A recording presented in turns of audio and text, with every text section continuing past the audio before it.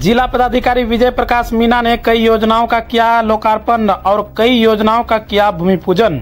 नगर पंचायत के नंदकिशोर माधवनंद उच्च विद्यालय क्रीड़ा मैदान में समारोह आयोजित कर नगर पंचायत के नंदकिशोर माधवनंद उच्च विद्यालय क्रीड़ा मैदान पोस्ट ऑफ़िस चौक बी आर सी चौक, सोनामुखी चौक, मुख्य बाज़ार में शिव मंदिर के निकट खगड़िया बस स्टैंड, लदमा आंगनबाड़ी केंद्र के पास हाई मास्टर लाइट का लोकार्पण एवं नंद किशोर माधव नंद उच्च विद्यालय के किरा मैदान में धीमी दौर पेवर ब्लॉक पथ का निर्माण का लोकार्पण एवं नगर पंचायत के द्वारा दस लाख पंद्रह हज़ार पाँच सौ की लागत से आलमनगर थाना परिसर में भू समाधान भवन का भी भूमि पूजन मधेपुरा जिला पदाधिकारी विजय प्रकाश मीना ने किया। इससे पूर्व प्रखंड परिसर स्थित मवेशी अस्पताल के पास Sudha bulk milk cool cooler का उद्घाटन समारोह आयोजित कर किया गया। समारोह के दौरान जिला पदाधिकारी विजय प्रकाश मीना ने बताया कि सुधा मिल्क कूलर का शुभारंभ होने से क्षेत्र के लोगों की आमदनी बढ़ेगी, साथ ही पशुपालक अपने गाँव में आसानी से दूध बेच पाएँगे।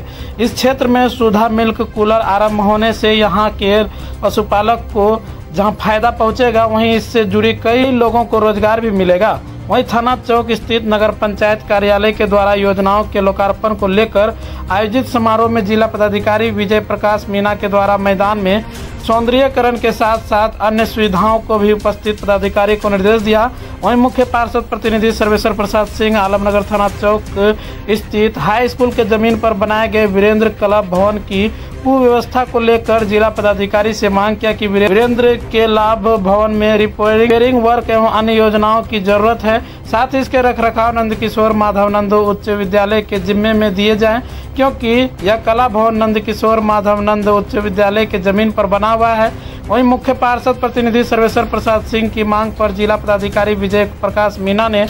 वीरेंद्र कला भवन पहुंचकर स्थिति का जायजा लिया एवं अविलंब इस पर रिपेयरिंग वर्क आरंभ करने एवं अन्य योजनाओं के माध्यम से सौंदर्यकरण करने की बात बताई। संबंधित पदाधिकारी को कहा गया, वहीं इस दौरान मुख्य पार्षद प्रतिनिधि सर्वेश्वर प्रसाद सिंह ने बताया कि आज जिला पदाधिकारी मधेपुरा के द्वारा नगर पंचायत के कई योजनाओं का लोकार्पण किया गया। साथ ही नगर पंचायत के द्वारा आलमनगर थाना परिसर में लगभग 10 लाख की राशि से बनाए जा रहे भवन का भूमि पूजन किया गया। उन्होंने कहा कि नगर पंचायत के सभी वार्डो में पीसीसी ढलाई, सड़क, नाले का निर्माण एवं अन्य योजनाओं के माध्यम से लगातार विकास के कार्य किए जा रहे हैं।